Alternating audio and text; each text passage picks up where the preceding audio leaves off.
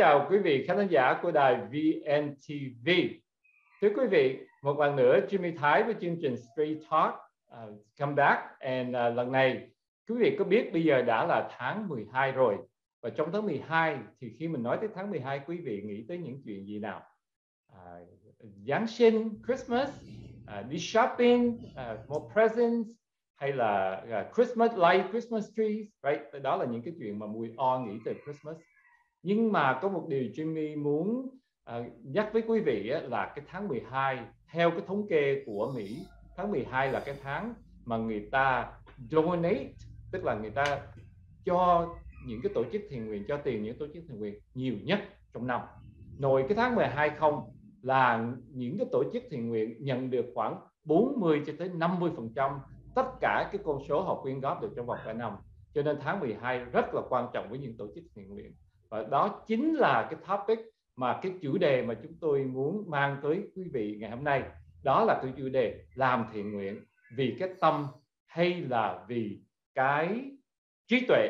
Đó là cái chủ đề mình muốn nói. Mà nếu tiếng Anh mình sẽ nói là charity especially charity in Vietnam. We do it warm hearted or we do it with wisdom. Right? Thì đó là cái chủ đề mà Jimmy xin đến, xin mang đến với quý vị hôm nay. Và để Ờ, trò chuyện với Jimmy ngày hôm nay. À, mình có một nhân vật khá là đặc biệt khá là mới với ờ, uh, VNTV của mình. Anh ta khá là trẻ và Jimmy đã có cơ hội làm việc với anh chàng này khoảng 5 6 năm rồi với cái tổ chức Build School Foundation của mình. Quý vị nhìn Jimmy thì, thì quý vị nhớ Jimmy hay nói mình là một người à, hết sảy như là con bà bảy. Và anh chàng này là một anh chàng rất là đẹp trai giống như con bà hai hay là anh hay dùng cái chữ là đẹp trai không gốc chết. À, à, Jimmy thật sự chưa cái hiểu câu đó lắm. Nhưng mà anh ta hay nói là đẹp trai không gốc chết. Thì Jimmy cũng rất là muốn được đó là tiến sĩ Nguyễn Minh Khiêm. À, xin giới thiệu một chút xíu về Nguyễn Minh Khiêm. Anh ta đã tốt nghiệp thạc sĩ tại Taiwan tức là bên à, Đài Loan. Và vừa rồi mới đây thôi anh ta vừa tốt nghiệp tiến sĩ tại trường đại học Taiwan Normal University một cái trường đại học rất là nổi tiếng ở Taiwan và à, không để quý vị mong đợi nữa à, xin chào tiến sĩ Nguyễn Minh Khiêm và xin mời anh có đôi lời giới thiệu về bản thân mình với tất cả các vị khán giả của đài VNTV. À, xin chào tất cả các khán giả của đài VNTV. Cảm ơn thầy Jimmy Thái đã hôm nay gửi một cái lời mời uh, đến cái chương trình cái show Straight Talk with Jimmy Thái của thầy và em xin chừng uh, ờ, em cũng xin tự giới thiệu về bản thân một chút xíu là từ trước đến giờ thì em cũng hay chia sẻ đó là em cả đời của em chỉ làm có ba việc mà thôi. Cái việc thứ nhất đó là những cái việc liên quan tới giáo dục education. Tại vì em là cái người đã uh, từng là một cái người nghiện game từng là một cái người có cuộc đời uh, không có theo mắt của người khác là không có đáng. Thì nhờ cái cơ hội quay lại với công việc học tập mà có cái cơ hội được nhận cái bằng tiến sĩ cũng như là Jimmy vừa mới chia sẻ là ở uh, National Taiwan Normal University và một cái nữa là ở cái Viện Hàn Lâm Khoa học Công nghệ Đài Loan Academia Sinica ừ. thì đó là cái cái education. Cái việc thứ hai em làm đó chính là cái passion đó là cái đam mê. Thì cái đam mê của em cho tới bây giờ là cái đam mê nhất đó chính là chia sẻ những cái giá trị từ giáo dục. Và em biết một cái chuyện đó chính là để, để thành công trong cuộc đời này thì cái chuyên môn nó chưa có đủ mà nó cần thêm những cái kỹ năng mềm chính vì vậy mà em chọn cái nghề là mình trở thành một cái nhà đào tạo một trainer và một coach để um, lan tỏa cái giá trị này cho cái những cái bạn trẻ ở Việt Nam có cái cơ hội được uh, được phát triển và tiếp cận hơn với sự thành công. Thì đây là cái đam mê của em. Và cái thứ ba đó chính là cái câu chuyện mà ngày hôm nay uh, em muốn chia sẻ với VNTV đó chính là cái compassion. Thì uh, em đã phục vụ cho cái um, Build School Foundation à, cho tới bây giờ là 6 năm bắt đầu từ năm 2016 chính thức dạ yeah. thì uh, rất là vui vì uh, trong cái khoảng thời gian này đã ngoài những cái việc mà mình uh, giáo dục mình làm việc uh, về đam mê mà mình còn có một cái cống hiến um, một cái phụng sự mà mình sẽ cảm thấy là mình rất là vui và thực ra cái việc thứ ba này là tuy là không có nhận cái gì cả nhưng mà cái nhận lớn nhất đó chính là cái niềm tự hào cũng như là uh, cái niềm vui của cái việc mà phục sự cho cho những cái trẻ em vùng sâu vùng xa. Với cái tầm nhìn là xây 100 trường cho trẻ em vùng sâu vùng xa của Build School Foundation. Thì đó là ba việc mà em làm. À, rồi.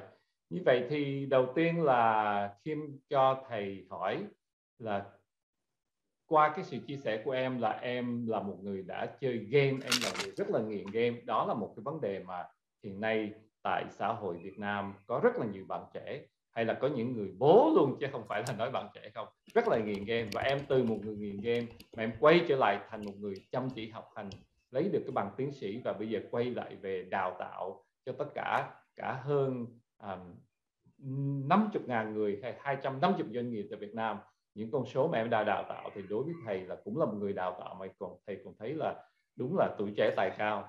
À, thì có thể là em chia sẻ với khán giả là cái lý do tại sao mà em bỏ cái vấn đề chơi game và quay về học hành. Để biết đâu trong số khán giả của chúng ta có những người mẹ người cha hay có những bạn đang nghiện game nghe cái chương trình này và cũng có thể nói là à anh Kim làm được tại Việt Nam anh Kim đi du học ở nước ngoài à, hy vọng tôi cũng có thể làm được như vậy thì em có thể chia sẻ với khán giả cái lý do tại sao từ một người game em trở thành một ông tân tiến sĩ. Alright, à, nếu mà thầy Jimmy đã hỏi thì em xin phép được chia sẻ. Đó chính là à, vào năm à, nhất đại học thì thực ra là em đã thi lót hai trường và rất là à, ở Việt Nam thì à, cái chuyện thi lót đại học á là một cái chuyện gì đó nó không hay nhưng mà à, được một cái là tại thời điểm đó thì em có cái nguyện vọng hai. Thì cái điểm của nguyện vọng hai của em á, thì được vào một cái trường đại học à, ở Việt Nam và cái trường đại học đó thì tại thời điểm đó thì nó chưa có danh tiếng gì cả. Ừ. nhưng mà cái nhưng mà cái bản cũ của mình là mình soạn lại tức là mình thì rất là mê game tức là cái ngày đó là cái mình được tách ra khỏi gia đình nữa. Mình lên đại học là mình tách ra khỏi gia đình. Tức là sáng thì em đi lên học ở trường ở xa thì chiều quay về thì thay vì là về nhà thì lại ghé vào cái tiệm net để chơi game. Và cứ ngày qua ngày như vậy. Thì kết thúc cái học kỳ 1 đó, thì cái trường của em có một cái cái cái luật đó chính là gửi cái kết quả đó về lại cho uh, gia đình. Thì trong một cái lúc mà em đang đi trên đường á thì tự nhiên bố của em nhắn một cái tin. Đó chính là uh, ba đã nhận được kết quả học tập của con và rất thất vọng. Thì uh, quý khán giả sẽ nghĩ là nếu như mà mọi người nhận một cái tin nhắn đó thì mọi người sẽ cảm thấy như thế nào? Vậy. thì lúc đó em thì em nhận cái tin nhắn đó xong thì em rất là bình thường ừ. sau đó em mới bình tĩnh em nhắn lại cho ba của em rằng dạ đại học là học đại à. thì một phút sau ba em nhắn ngược lên là đời là bể khổ ừ. thì cái câu này nó mới gây cho em một cái suy nghĩ thì tối đó em về uh, em không nhắn tin với ba em sau cái câu đó nữa thì tối đó về em mới ngồi em nghĩ về cái tin nhắn đó của ba em em mới nghĩ là đời là bể khổ thì tại lúc đó là sinh viên thì mình không có nghĩ gì được là là rất là ghê theo cái triết lý của Phật giáo tại câu đó là được ở bên đó. Em chỉ nghĩ đơn giản là không lẽ đời mình khổ thật hả ta? Thì em mới nghĩ là nó nghĩ một cái câu nói mình tự hỏi mình là cái chuyện gì xảy ra sau 10 năm nếu như mình cứ giữ cái con người của mình như vậy là một cái người nghiện game rồi cứ à, học hành thì không tới nơi và điểm số như vậy thì em ngồi em nằm đó và em tưởng tượng ra cái cuộc đời 10 năm của mình nó quá ư là nó khủng khiếp đi. Rồi em mới nghĩ lúc đó là cái cô nào cổ chắc là cổ cũng có vấn đề cũng mới dám lấy em. Cái em thấy chắc là ế suốt đời rồi. Sau rồi em mới thấy là chắc là mình sẽ không xin việc cho ai rồi à, cuộc đời mình sẽ đi vào đâu. Thì tất cả những cái hình ảnh đó nó làm cho em à, rất là sợ. Vậy. thì lúc đó cái câu hỏi thứ hai nó xuất hiện đó chính là à mình có thể làm được cái gì đây để có thể thay đổi cái tương lai mà đáng sợ đó? À. thì lúc đó thời sinh viên thì nó chỉ nghĩ tới một cái chuyện duy nhất thôi thầy đó chính là quay lại với câu con đường học tập à và dĩ nhiên là lúc mà quay lại với con đường học tập thì uh, do một là mình đã mất căn bản học kỳ 1 rồi nó cũng rất là khó chứ nó cũng không có dễ gì á.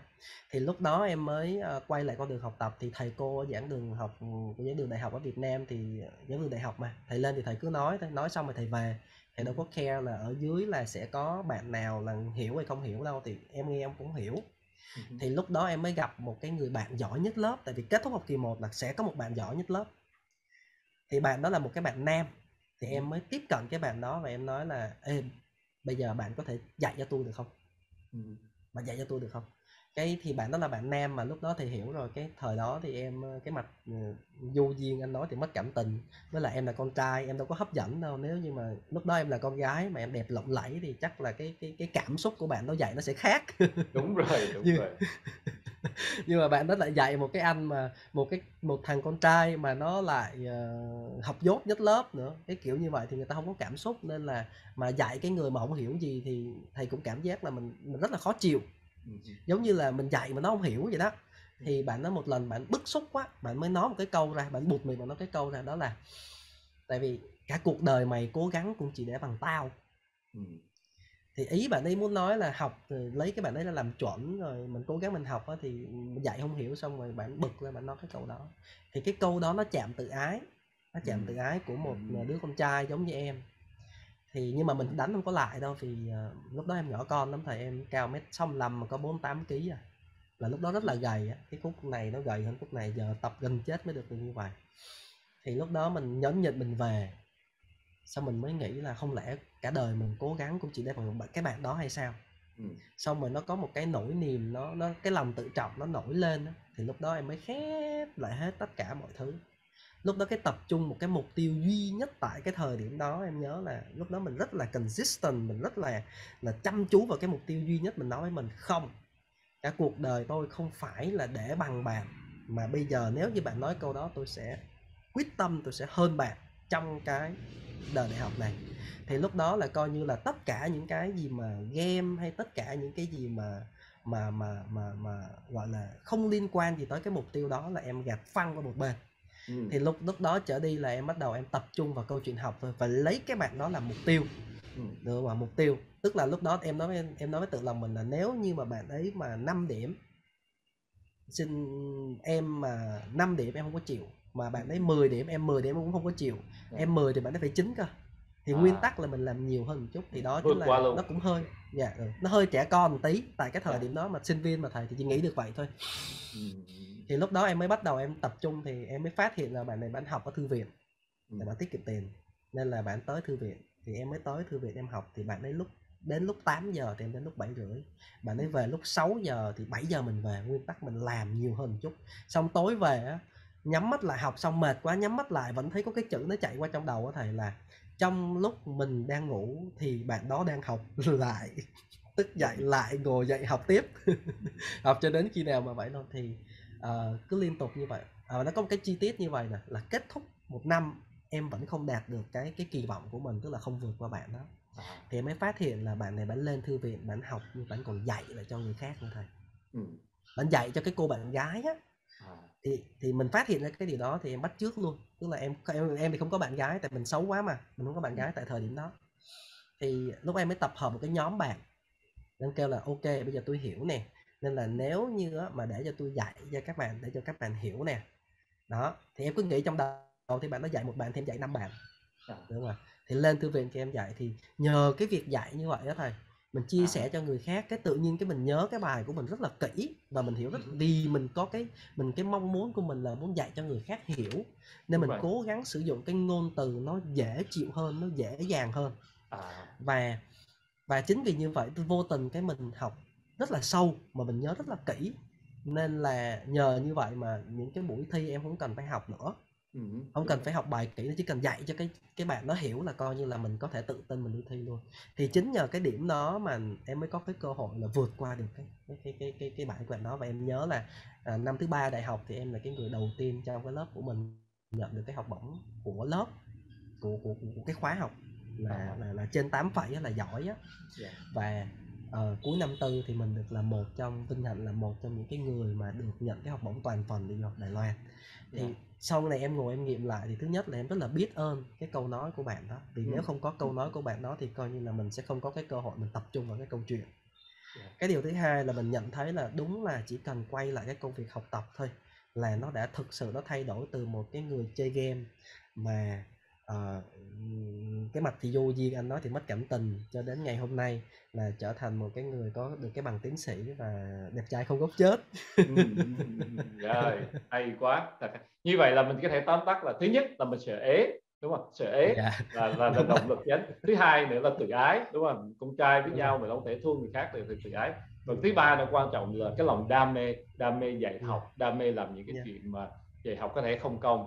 Thì đó là một cái điều rất là hay để mình bắt qua cái chủ đề chính của mình hôm nay là làm thiện nguyện đúng không? Tại dạ, vì ngay từ lúc đó là Kim đã có cái khiếu làm giảng dạy và có đã có cái khiếu làm những cái việc không công rồi. Đấy nó nôm na là làm việc không công dạy cho bạn bè không có tiền bạc gì hết.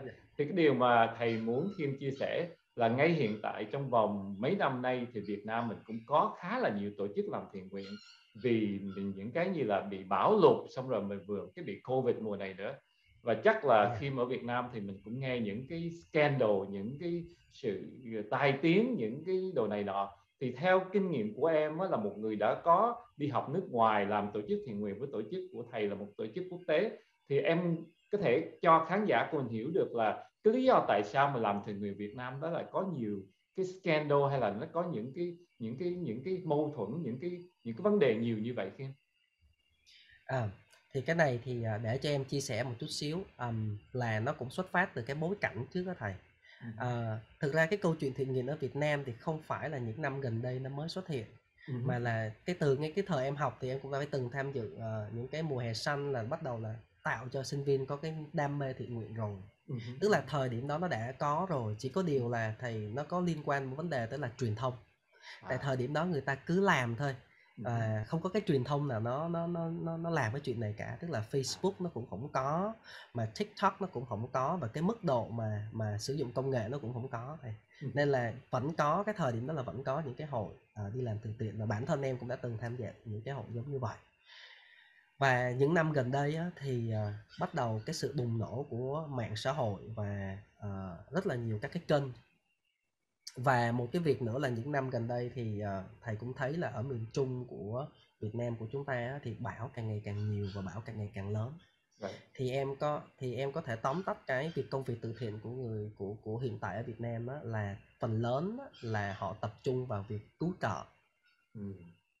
Yeah. Tức là uh, khi mà khi mà một cái một cái bão lụt gì đó đến từ miền Trung hay là một cái vùng nào đó thì họ sẽ dùng cái truyền thông để họ uh, lan tỏa cái thông điệp ra. Thì nó rất là tốt nó rất là tốt ở chỗ là kêu gọi cái thông điệp là để cho uh, người ta đóng góp đóng góp để mình có thể tới đó mình cứu trợ. Thì nó cũng xuất phát từ một cái tâm cho đi và một cái tâm giúp đỡ người khác và em cho là điều này nó rất là tốt. Chị dạ. yeah, chỉ có một cái đó chính là vì uh, đó là nó xuất phát từ một cái tâm nhưng mà nó lại chưa có một cái nền tảng. Chính vì vậy khi người ta kêu gọi thì có rất là nhiều người có cái tầm ảnh hưởng rất là lớn đặc biệt là các nghệ sĩ. Và trước giờ họ ờ, họ làm rất là nhiều và họ đã xuất hiện lên truyền thông tức là họ là một influencer một người rất có ảnh hưởng.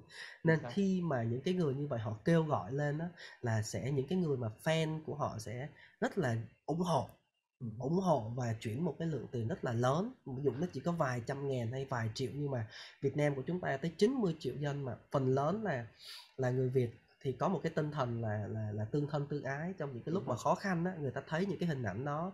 Ngày xưa truyền thông nó không rõ còn bây giờ người ta có thể livestream người ta có thể quay người ta thấy cái hình ảnh nó trực tiếp tại thời điểm đó nước nó dâng. Mà bão bây giờ thì nó rất là lớn đúng không mà mình nhìn cái là mình động lòng ngay thì mình sẽ chuyển một cái một cái lượng tiền được là lớn thì nhỏ mà thì cái câu chuyện đó nó dẫn tới một cái việc đó chính là uh, lúc đầu thì nó rất là tốt chỉ có điều sau này thì nó vẫn có những cái tiêu cực ở trong đó tức là nó tâm thì nó tốt nhưng lại kém một phần là cái sự chuyên nghiệp.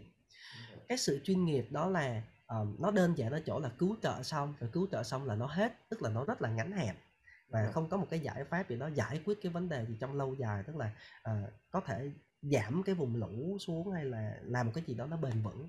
Đúng rồi. thì nó mang tới chất cứu trợ như vậy thì cứ năm nào năm nào năm nào nó cũng xảy ra như vậy Đúng, Đúng không ạ? Thế người ta mới đặt một cái câu hỏi đó chính là uh, liệu thực sự tiền nó có tới được đó hay không?